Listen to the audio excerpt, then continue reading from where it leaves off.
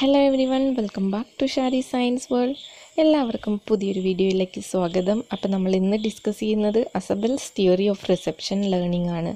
അപ്പോൾ രണ്ട് ദിവസം എനിക്ക് വീഡിയോസ് അപ്ലോഡ് ചെയ്യാൻ പറ്റിയില്ല. അത് ഞാൻ ആദ്യം തന്നെ സോറി ചോദിക്കുകയാണ്. ഇനി ഇന്ന് തന്നെ ഞാൻ വൈഗോട്സ്കിയുടെ തിയറിയും കൂടി അപ്ലോഡ് ചെയ്യാൻ ശ്രമിക്കാം. ഓക്കെ അപ്പോൾ നമുക്ക് തിയറിയിലേക്ക് കടക്കാം. Ausubel's theory of reception learning അപ്പോൾ ഈ തിയറി തന്നെ നമ്മൾ meaningful verbal learning expository learning theory of subsumption എന്നീ പേരുകളിലൊക്കെ അറിയപ്പെടുന്നുണ്ട്. അപ്പോൾ പേരുകൾ നോട്ട് ചെയ്ത് വെച്ചോളാം. Meaningful verbal learning Ausubel's theory of meaningful verbal learning അതാണ് കൂടുതലായിട്ടും അറിയപ്പെടുന്നത്. പിന്നെ റിസപ്ഷൻ ലേണിംഗ് അതായത് സ്വീകരണ പഠനം then expository learning then theory of subsumption ഈ പേരുകളിലെല്ലാം അറിയപ്പെടുന്നത് ഒസബലിന്റെ റിസപ്ഷൻ ലേണിംഗ് തിയറിയാണ് ഓക്കെ അപ്പോൾ തിയറിയുടെ പേരുകൾ ഇമ്പോർട്ടന്റ് ആണ്. നോട്ട് ചെയ്ത് വെച്ചോളാം. പിന്നെ എല്ലാവർക്കും ഒരു അഭിപ്രായമുണ്ട്. ഈ ഒസബലിന്റെ തിയറി കുറച്ച് ടഫാണെന്ന് കാരണം നമ്മുടെ സൈക്കോളജി ടെക്സ്റ്റ് ബുക്കുകളിലൊക്കെ നോക്കിക്കഴിഞ്ഞാൽ നമുക്ക് ഒന്നും മനസ്സിലാവില്ല സത്യത്തിൽ അപ്പം ഞാൻ ഞാൻ തന്നെ കേട്ടിട്ട് എക്സാമിന് വേണ്ടിയിട്ട് ഞാൻ ഒരുപാട് വീഡിയോസും ഒക്കെ കണ്ട് ഗൂഗിളിലൊക്കെ സെർച്ച് ചെയ്ത് നോട്ട്സ് പ്രിപ്പയർ ചെയ്തതാണ്. അപ്പോൾ ഞാനത് സിമ്പിളായിട്ട് എക്സ്പ്ലെയിൻ ചെയ്തു തരാം. ഓക്കെ അപ്പോൾ നമുക്ക് തിയറിയിലേക്ക് കിടക്കാം. Meaningful verbal learning theory എന്ന് പറയുന്നത് മെയിനായിട്ട് അസബൽ ഇമ്പോർട്ടൻസ് കൊടുക്കുന്നത് വെർബൽ ലേണിങ്ങിനാണ് ഇമ്പോർട്ടൻസ് കൊടുക്കുന്നത്. അതായത് ബാക്കിയുള്ളവരൊക്കെ നമ്മൾ പിയാഷയുടെ പഠിച്ചു ബ്രൂണറിന്റെ പഠിച്ചു ഗാഗ്നിയുടെ പഠിച്ചു അല്ലേ അപ്പോൾ അതിലൊന്നും ഒരു വെർബൽ ലേണിങ്ങിന് ഇമ്പോർട്ടൻസ് കൊടുത്തിട്ടില്ല. അതായത് ഒരു ലാംഗ്വേജ് ലേണിംഗ് എന്ന് പറയുന്നതിനല്ല ഇമ്പോർട്ടന്റ് കൊടുത്തിരിക്കുന്നത്. ഇപ്പം നമ്മുടെ പിയാഷയുടെ ആണെങ്കിൽ അതിൽ നമ്മൾ അസിമിലേഷൻ അക്കോമഡേഷൻ അങ്ങനത്തെ കാര്യങ്ങളൊക്കെ പഠിച്ചു അല്ലേ കൊഗ്നറ്റീവ് അതായത് മൈൻഡിനാണ് ഈ കൊഗ്നറ്റീവ് സ്ട്രക്ചറിന് ആണ് ഇമ്പോർട്ടൻസ് കൊടുത്തിരിക്കുന്നത്. പിന്നെ ബ്രൂണർ ആണെങ്കിൽ ഡിസ്കവറി ലേണിംഗ് ആണ് അല്ലേ? അപ്പോൾ ഈ ഒസബൽ എന്താന്ന് വെച്ച് കഴിഞ്ഞാൽ ഡിസ്കവറി ലേണിങ്ങിന് ഓപ്പോസിറ്റാണ് ഒസബൽ എന്ന് പറയുന്നത്. കാരണം തൻ എന്താണെന്ന് വെച്ചാൽ നമുക്ക് സ്കൂൾ ടൈം വളരെ ലിമിറ്റഡ് ആണ്. അപ്പോൾ ആ ഒരു ടൈമിൽ ഈ ഡിസ്കവറി ലേണിംഗ് എല്ലാ ടോപ്പിക്കും അങ്ങനെ പഠിക്കുന്നത് പോസിബിൾ അല്ല എന്നാണ് ഒസബലിന്റെ അഭിപ്രായം. അപ്പോൾ അതുകൊണ്ട് തന്നെ അദ്ദേഹം ഒരു ഡിഫറെന്റ് ആയിട്ടുള്ള ലേണിംഗ് ആണ് കൊണ്ടുവന്നിരിക്കുന്നത്. വെർബൽ ലേണിംഗ് ആണ്. അതൊരു മീനിങ് ഫുൾ ആയിട്ടുള്ള വെർബൽ ലേണിംഗ് ആയിരിക്കണം എന്നാണ് ഒസബൽ പറയുന്നത്. ഓക്കെ ക്ലിയർ ആയല്ലോ? അപ്പം നമ്മുടെ പിയാഷയുടെ തിയറിയിലത്തെ ഒരു കാര്യം ഇതിൽ കൊണ്ടുവന്നിട്ടുണ്ട്. അതായത് കൊഗ്നേറ്റീവ് സ്ട്രക്ചർ. അദ്ദേഹം സ്കീമ എന്ന് പറയുന്ന പോലെ തന്നെ ഒസബലന്റെ തിയറിയിൽ അദ്ദേഹം നമ്മളുടെ മൈൻഡിന് ഒരു കൊഗ്നേറ്റീവ് സ്ട്രക്ചർ അതായത് ആദ്യം തന്നെ ഉള്ള ഒരു നോളജ് കൂടിച്ചേർന്ന് ഒരു കൊഗ്നേറ്റീവ് സ്ട്രക്ചർ ഫോം ചെയ്യുന്നുണ്ട് എന്ന് പറയുന്നുണ്ട്. ഓക്കെ. അപ്പോൾ ആ കൊഗ്നേറ്റീവ് സ്ട്രക്ചറിലേക്കാണ് ന്യൂ നോളജ് ആഡ് ചെയ്യപ്പെടുന്നത്. അതായത് സ്വീകരിക്കുക കുട്ടി സ്വയം സ്വീകരിക്കുകയാണ് അതുകൊണ്ട് തന്നെയാണ് ഈ തിയറിക്ക് റിസപ്ഷൻ ലേണിംഗ് എന്ന പേര് കൂടി വന്നത്. ഓക്കെ. അപ്പോൾ ഡിസ്കവറി ലേണിങ്ങിന് ഓപ്പോസിറ്റാണ് അസബൽ അപ്പോൾ അദ്ദേഹത്തിന്റെ തിയറിയിൽ അദ്ദേഹം ഇമ്പോർട്ടൻസ് കൊടുത്തിരിക്കുന്നത് വെർബൽ ലേണിങ്ങിനാണ് അതായത് ലാംഗ്വേജ് ലേണിങ്ങിനാണ് ഇമ്പോർട്ടൻസ് കൊടുത്തിരിക്കുന്നത്. Meaning learning occurs when linking the new information to the existing cognitive structure. അത് ഞാൻ പറഞ്ഞു നമ്മൾക്ക് ഒരു കോഗ്നേറ്റീവ് സ്ട്രക്ചർ ഉണ്ട് ലൈക്ക് പിയാഷെ സ്കീമ ആ സ്കീമയുടെ പോലെ തന്നെ ഒരു കോഗ്നേറ്റീവ് സ്ട്രക്ചർ എക്സിസ്റ്റ് ചെയ്യുന്നുണ്ട്. അപ്പം മീനിങ് ഫുൾ ലേണിംഗ് നടക്കണമെങ്കിൽ ആ എക്സിസ്റ്റിംഗ് കോഗ്നേറ്റീവ് സ്ട്രക്ചറിലേക്ക് ന്യൂ നോളജ് ആഡ് ചെയ്യണം. ന്യൂ ഇൻഫർമേഷൻ ലിങ്ക് ചെയ്യണം. എന്നാൽ മാത്രമാണ് അവിടെ ഒരു മീനിങ് ഫുൾ വേർബൽ ലേണിംഗ് നടക്കുകയുള്ളൂ എന്നാണ് ഒസബൽ അഭിപ്രായപ്പെടുന്നത്. അപ്പോൾ ആ മീനിങ് ഫുൾ വേർബൽ ലേണിംഗ് നടക്കണമെങ്കിൽ തന്നെ നമ്മൾ ഈ ലിങ്കിങ് ആ ലിങ്കിങ് പ്രോപ്പറായിട്ട് ലിങ്ക് ചെയ്താൽ മാത്രമാണ് അവിടെ ഒരു മീനിങ് ഫുൾ വെർബൽ ലേണിംഗ് നടക്കൂ. അതായത് നമ്മൾ പുതിയൊരു നോളജ് ലിങ്ക് ചെയ്യാമെന്ന് വിചാരിക്കുക അത് നമ്മൾ വെറുതെ അങ്ങോട്ട് ലിങ്ക് ചെയ്താൽ പോരാ. ഒരു പ്രോപ്പർ ആയിട്ടുള്ള സീക്വൻഷ്യൽ ആയിട്ടുള്ള ഓർഡറിൽ അത് ലിങ്ക് ചെയ്താൽ മാത്രമാണ് അവിടെ ഒരു മീനിങ് ഫുൾ വെർബൽ ലേണിംഗ് നടക്കുള്ളൂ എന്നാണ് അസബൽ അഭിപ്രായപ്പെടുന്നത്. ഓക്കെ അപ്പോൾ ഇനി നമുക്ക് ഇതിന്റെ കുറേ പ്രോസസ്സുകളുണ്ട് അപ്പോൾ അതിന്റെ മുന്നേ നമുക്ക് ഒരു കാര്യം കൂടി പറയാനുണ്ട്. അതായത് ഒസബലിന്റെ ഈ എക്സ്പോസിറ്ററി അല്ലെങ്കിൽ റിസപ്ഷൻ ലേണിങ്ങിനെ മറ്റുള്ള ആളുകൾ ഒരു ആളുകൾ ഒരുപാട് ക്രിട്ടിസൈസ് ചെയ്തിട്ടുണ്ട്. അപ്പോൾ ഇതൊരു റോട്ട് ലേണിംഗ് ആണ് എന്ന് അഭിപ്രായപ്പെട്ടിട്ടുണ്ട്. അപ്പോൾ അതുകൊണ്ട് തന്നെ നമ്മൾ സൈക്കോളജി ടെസ്റ്റുകളിലൊക്കെ കാണാം. Expository learning and rote learning രണ്ടും തമ്മിലുള്ള ഡിഫറൻസസ് പറഞ്ഞിട്ടുണ്ടാവാം. അപ്പോൾ അത് നിങ്ങൾക്ക് അറിയുന്നതാണ് അല്ലേ? റോട്ട് ലേണിംഗ് എന്ന് പറഞ്ഞു കഴിഞ്ഞാൽ നമ്മൾ മെമ്മറിയുടെ കാര്യത്തിൽ പഠിച്ചതാണ്. അതായത് മീനിങ് അറിയാതെ നമ്മൾ ആ സംഭവം ആശയം എന്താണെന്ന് മനസ്സിലാക്കാതെ പഠിക്കുന്ന ഒരു പ്രോസസ്സാണ് റോട്ട് ലേണിംഗ് എന്ന് പറയുന്നത്. ഫോർ എക്സാമ്പിൾ നമ്മൾ മൊബൈൽ നമ്പറൊക്കെ ബയോട്ട് ചെയ്ത് വെക്കുന്നത് കാരണം അതിലൊരു അർത്ഥം ഒന്നുമില്ല. നമ്മൾ ജസ്റ്റ് ഇങ്ങോട്ട് കാണപ്പാടം പഠിക്കുകയാണ് അപ്പോൾ അത് റോട്ട് ലേണിംഗ് ആണ് ഇത് എന്ന് പറഞ്ഞിട്ട് പലരും ക്രിട്ടിസൈസ് ചെയ്തിട്ടുണ്ട്. അപ്പോൾ എന്താണ് ഒസബൽ പറയുന്നത്? എക്സ്പോസിറ്ററി ലേണിംഗ് അല്ലെങ്കിൽ റിസപ്ഷൻ ലേണിംഗ് ഒരിക്കലും റോട്ട് ലേണിംഗ് അല്ല. അതൊരു മീനിങ് ഫുൾ വെർബൽ ലേണിംഗ് ആണ് എന്നാണ് ഒസബലിന്റെ അഭിപ്രായം. റോട്ട് ലേണിംഗ് എന്ന് പറഞ്ഞു കഴിഞ്ഞാൽ ആശയം മനസ്സിലാക്കാതെ വെറുതെ പഠിക്കുന്നതാണ് rote learning. But meaningful verbal learning എന്ന് പറഞ്ഞു കഴിഞ്ഞാൽ അതിന്റെ ആശയം കൃത്യമായി മനസ്സിലാക്കി ആണ് നമ്മൾ നമ്മുടെ പ്രിവിയസ് നോളജുമായി കണക്റ്റ് ചെയ്താണ് അതിനെ നമ്മളുടെ കൊഗ്നേറ്റീവ് സ്ട്രക്ചറിലേക്ക് ലിങ്ക് ചെയ്യുന്നത്. That is expository learning or reception learning clear ആയാലോ അതാണ് ഒസബലിന്റെ തിയറിയുടെ മെയിൻ ഇമ്പോർട്ടൻസ് എന്ന് പറയുന്നത് അതൊരു മീനിങ് ഫുൾ ആയിട്ടുള്ള വെർബൽ ലേണിംഗ് ആണ് ഒസബലിന്റെ ഈ തിയറി അപ്പോൾ നമ്മൾ ഈ മീനിങ് ഫുൾ വെർബൽ ലേണിംഗ് നടക്കണമെങ്കിൽ കുറച്ച് സ്റ്റെപ്പുകളുണ്ട്. അപ്പോൾ ആ സ്റ്റെപ്പുകൾ ഏതൊക്കെയാണെന്ന് നോക്കാം. Process of meaningful learning ആണ്. മീനിങ് ഫുൾ ലേണിംഗ് നടക്കുന്ന പ്രോസസ്സുകൾ അപ്പോൾ ഇതിൽ നമ്മളൊരു വേർഡ് വേർഡ് കാണാം അല്ലേ? സബ്സംഷൻ എന്താണ് സബ്സംഷൻ എന്ന് അല്ലേ സബ്സംഷൻ എന്ന് പറഞ്ഞു കഴിഞ്ഞാൽ നമ്മൾ പുതിയ നോളജ് ആഡ് ചെയ്യുക കൂട്ടിച്ചേർക്കുക. ആ ഒരു പ്രോസസ്സിനാണ് നമ്മൾ സബ്സംഷൻ എന്ന് പറയുന്നത്. അതായത് നമ്മളുടെ എക്സിസ്റ്റിംഗ് കോഗ്നേറ്റീവ് സ്ട്രക്ചറിലേക്ക് പുതിയൊരു നോളജ് ആഡ് ചെയ്യുക. അപ്പോൾ അതിന് ഈ സബ്സംഷൻ പ്രോസസ്സുകൾ ഡിഫറെന്റ് ടൈപ്സ് ഉണ്ട്. അതായത് process of meaningful learning different ടൈപ്സിലാണ് നടക്കുന്നത്. അപ്പോൾ അത് ഏതൊക്കെയാണെന്ന് നോക്കാം. First one derivative subsumption then correlative subsumption then superordinate learning then combinatorial learning അപ്പോൾ എന്താണ് ഡെറിവേറ്റീവ് സബ്സംഷൻ ഡെറിവേറ്റീവ് സബ്സംഷൻ എന്ന് പറഞ്ഞു കഴിഞ്ഞാൽ deriving new knowledge from existing knowledge ഞാൻ നോട്ട്സ് ഇതിൽ പോയിന്റ്സ് ഒക്കെ എഴുതിയിട്ടില്ല. ഞാൻ പറയുമ്പോൾ നിങ്ങൾ നോട്ട് ചെയ്ത് വെച്ചോളൂ കേട്ടോ. Deriving new knowledge from existing knowledge that is derivative subsumption അതിനൊരു എക്സാമ്പിൾ പറയുകയാണെങ്കിൽ ഒരു കുട്ടി കുട്ടിക്ക് ഓൾറെഡി അറിയുന്ന നോളജിലേക്ക് പുതിയൊരു നോളജ് ആഡ് ചെയ്യാണ്. Deriving new knowledge from existing നോളജാണ് for example കുട്ടിക്ക് ഒരുപാട് ഫിഷ് കുട്ടി കണ്ടിട്ടുണ്ട്. അതായത് കുട്ടി മത്തി കണ്ടിട്ടുണ്ട് അയല കണ്ടിട്ടുണ്ട് അതേപോലെ നത്തൽ കണ്ടിട്ടുണ്ട്. അങ്ങനത്തെ ചെറിയ ചെറിയ മത്സ്യങ്ങളെയൊക്കെ കുട്ടിക്ക് അറിയാം. അപ്പോൾ പെട്ടെന്ന് ഒരു ദിവസം കുട്ടി കുറച്ച് വലിയൊരു മീനിനെ കാണാണ്.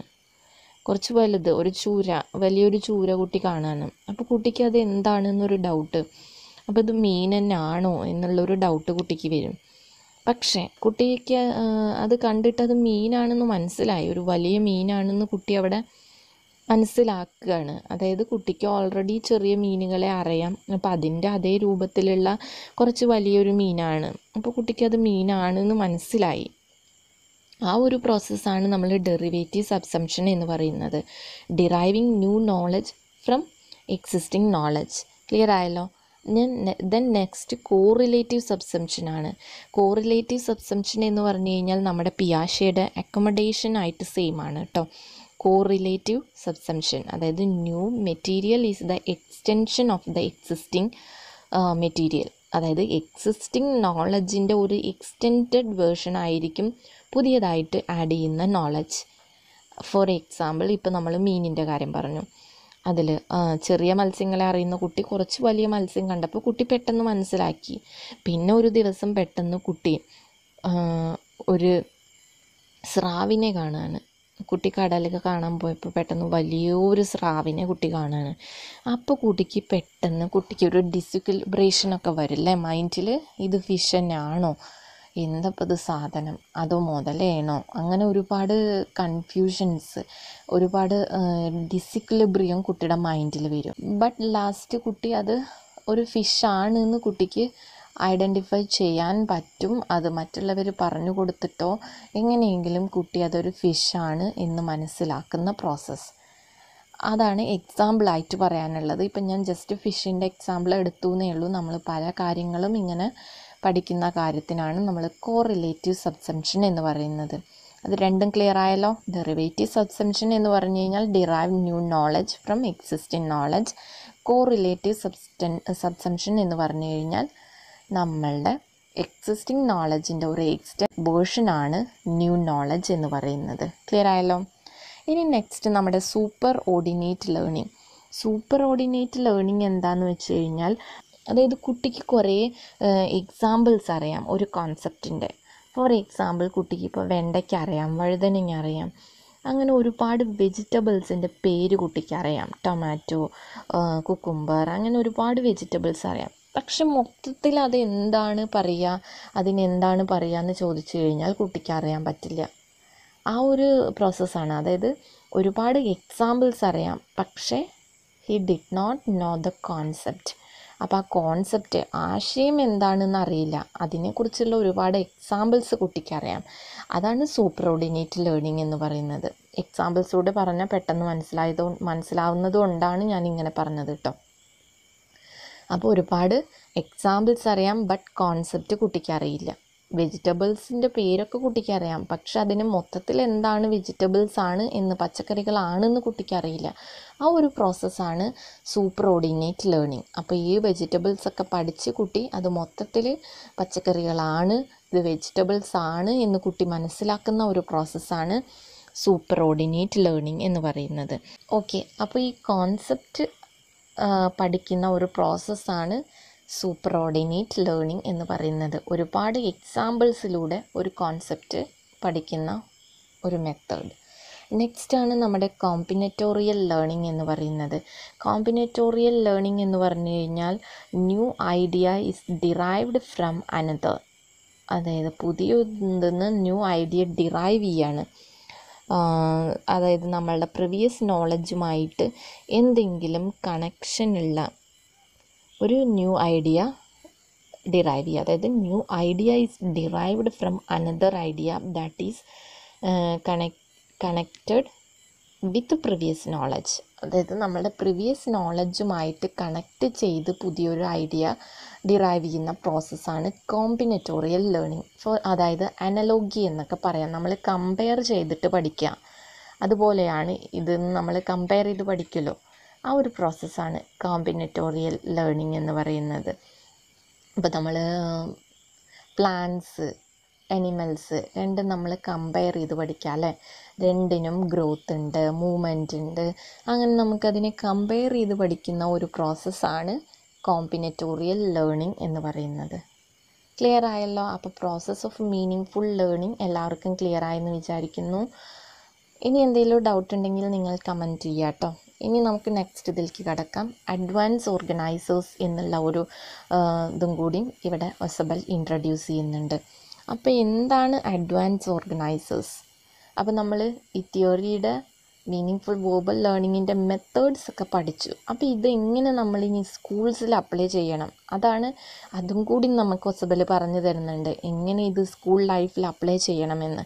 അതായത് അദ്ദേഹം സ്കൂൾ ലൈഫിനെ കൂടി കൺസിഡർ ചെയ്തുകൊണ്ടാണ് അദ്ദേഹത്തിന്റെ തിയറി ഫോം ചെയ്തിരിക്കുന്നത്. അപ്പോൾ അഡ്വാൻസ് ഓർഗനൈസേഴ്സ് ആണ് നമ്മൾക്ക് ഈ ഒരു ലേണിംഗ് തിയറി സ്കൂൾസിൽ അപ്ലൈ ചെയ്യാനുള്ള ഒരു ന്യൂ മെത്തേഡ് എന്ന് പറയുന്നത് അപ്പോൾ advance organisers are introductory ideas of a rather general nature that are broad enough to encompass all the information that has to be learned അതായത് ഈ അഡ്വാൻസ് ഓർഗനൈസേഴ്സ് എന്ന് പറഞ്ഞു കഴിഞ്ഞാൽ may be facts concepts examples അതൊക്കെ ആവാം. ഒരു teacher meaningful verbal learning നടക്കാൻ വേണ്ടി കുട്ടിക്ക് കൊടുക്കുന്ന സോഴ്സ് അതിനാണ് നമ്മൾ അതായത് ടൂൾ എന്നൊക്കെ വേണമെങ്കിൽ നമുക്ക് പറയാം. അതിനെയാണ് നമ്മൾ അഡ്വാൻസ് ഓർഗനൈസേഴ്സ് എന്ന് പറയുന്നത്. അത് വേണമെങ്കിൽ ഫാക്ട്സ് ആവാം കോൺസെപ്റ്റ്സ് ആവാം എക്സാമ്പിൾസ് ആവാം. അതിനൊക്കെ നമുക്ക് അഡ്വാൻസ് ഓർഗനൈസേഴ്സ് എന്ന് വിളിക്കാം. അപ്പോൾ മീനിങ് ഫുൾ വേർബൽ ലേണിംഗ് നടക്കാൻ വേണ്ടി ടീച്ചർ പ്രൊവൈഡ് ചെയ്യുന്ന ഒരു ടൂളിനെയാണ് നമ്മൾ അഡ്വാൻസ് ഓർഗനൈസർ എന്ന് പറയുന്നത്. ക്ലിയർ ആയല്ലോ? It is also called a conceptual bridge conceptual ബ്രിഡ്ജാണ് എന്ന് വേണമെങ്കിൽ നമുക്ക് പറയാം. അങ്ങനെ പറയാൻ കാരണം എന്താണെന്ന് വെച്ച് കഴിഞ്ഞാൽ നമ്മുടെ ഒരു പ്രിവിയസ് നോളജും ന്യൂ നോളജും തമ്മിലുള്ള ഒരു കോൺസെപ്റ്റ് ബ്രിഡ്ജാണ് ഈ അഡ്വാൻസ് ഓർഗനൈസർ എന്ന് പറയുന്നത്. പ്രിവിയസ് നോളജിൽ നിന്ന് ന്യൂ നോളജിലേക്ക് കുട്ടിക്ക് എത്തിപ്പെടാൻ പറ്റിയിട്ടുള്ള ഒരു വഴി അതിനാണ് നമ്മൾ അഡ്വാൻസ് ഓർഗനൈസർ എന്ന് പറയുന്നത്. സബ്സ്യൂമർ ഓഫ് ന്യൂ നോളജ് എന്നും നമുക്ക് പറയാം. അതായത് നമ്മൾ സബ്സ്യൂം സബ്സംഷൻ ചെയ്യുകയാണ് പുതിയ നോളജിനെ അതുകൊണ്ട് തന്നെ അഡ്വാൻസ് ഓർഗനൈസേഴ്സിനെ നമുക്ക് സബ്സ്യൂമർ ഓഫ് ന്യൂ നോളജ് എന്നും പറയാം. ക്ലിയർ ആയല്ലോ? അഡ്വാൻസ് ഓർഗനൈസേഴ്സ് എന്താണെന്ന് ക്ലിയർ ആയല്ലോ? കുട്ടിക്ക് മീനിങ് ഫുൾ വേർബൽ ലേണിംഗ് നടക്കാൻ വേണ്ടി ടീച്ചർ പ്രൊവൈഡ് ചെയ്യുന്ന ഒരു tool that is advance organiser അപ്പോൾ ഇനി നമുക്ക് ടൈപ്സ് ഓഫ് അഡ്വാൻസ് ഓർഗനൈസേഴ്സ് നോക്കാം. എന്തൊക്കെ ടൈപ്സ് അഡ്വാൻസ് ഓർഗനൈസേഴ്സ് ആണ് ഉള്ളത്? Expository advance organiser comparative advance organiser narrative advance organiser and graphic advance organisers ഇനിയും ഒരുപാട് അഡ്വാൻസ് ഓർഗനൈസേഴ്സ് നിങ്ങൾക്ക് കാണാം കേട്ടോ അപ്പോൾ നമുക്ക് ഇമ്പോർട്ടന്റ് ആയത് മാത്രം ജസ്റ്റ് നോക്കി വെച്ചാൽ മതി. നിങ്ങൾ ബി എഡിനൊക്കെ രണ്ടെണ്ണേ പഠിക്കുന്നുള്ളൂ. Comparative and narrative advance organisers ആണ് നമ്മൾ ബി എഡിന് പഠിക്കുന്നത്. അപ്പോൾ ഇത് എക്സാമിന് നമ്മൾ ജസ്റ്റ് രണ്ടെണ്ണം കൂടി നോക്കാം. അപ്പോൾ എന്തൊക്കെയാണ് ഈ ഓരോന്നും നോക്കാം. എക്സ്പോസിറ്ററി അഡ്വാൻസ് ഓർഗനൈസർ എന്ന് പറഞ്ഞു കഴിഞ്ഞാൽ എന്താണ്? കുട്ടിയുടെ മൈൻഡിലുള്ള ഐഡിയാസ് അതായത് ഒരു ഉള്ള നോളജ് വെച്ച് നമ്മൾ പുതിയൊരു ഇതിനെ അവിടെ എക്സ്പോസിറ്റ് ചെയ്യാണ്. എക്സ് അവിടെ ആഡ് ചെയ്യുന്ന ഒരു പ്രോസസ്സാണ് ലിങ്ക് ചെയ്യുക. അത് ഒരു എക്സാമ്പിൾ ഇപ്പം നമ്മൾ മാത്സിൽ സ്ക്വയർ എന്താണെന്ന് പഠിക്കുകയാണ്. അപ്പോൾ നമ്മൾ അതിന് സ്ക്വയർ പഠിക്കുമ്പോൾ ബാക്കിയുള്ള സംഭവങ്ങളും കൂടി നമ്മൾ ഒരുപാട് ഫിഗേഴ്സ് കുട്ടിക്കറിയാം. ട്രയാങ്കിൾ അറിയാം റെക്റ്റാങ്കിൾ അറിയാം. അതേപോലെ തന്നെ കുട്ടിക്ക് പിന്നെയും പാരലലോഗ്രാം അറിയാം. അപ്പോൾ അതിൽ നിന്ന് നമ്മൾ ഈ സ്ക്വയറിന് ഉള്ള വ്യത്യാസം എന്താണ് എന്ന് അതായത് നമ്മളത് മെഷർ ചെയ്ത് അതിന്റെ സൈഡ്സ് ഈക്വൽ ആണ്. ഫോർ സൈഡ്സും ഈക്വൽ ആണ്. ആംഗിൾസ് അതൊക്കെ നമ്മൾ റിയൽ ലൈഫ് സിറ്റുവേഷനൊക്കെ നമ്മൾ കാണിച്ചു കൊടുത്ത് ആംഗിൾസും അതേപോലെ സ്ക്വയറുകൾ നമ്മുടെ ചുറ്റും കാണുന്ന സ്ക്വയറുകളൊക്കെ കാണിച്ചു കൊടുത്ത് കുട്ടിക്ക് ആ നോളജിനെ മനസ്സിലാക്കിച്ചു കൊടുക്കുന്ന ഒരു പ്രോസസ്സ് കുട്ടി മനസ്സിലാക്കുന്ന ഒരു പ്രോസസ്സിനെയാണ് നമ്മൾ എക്സ്പോസിറ്ററി അഡ്വാൻസ് ഓർഗനൈസർ എന്ന് പറയുന്നത്.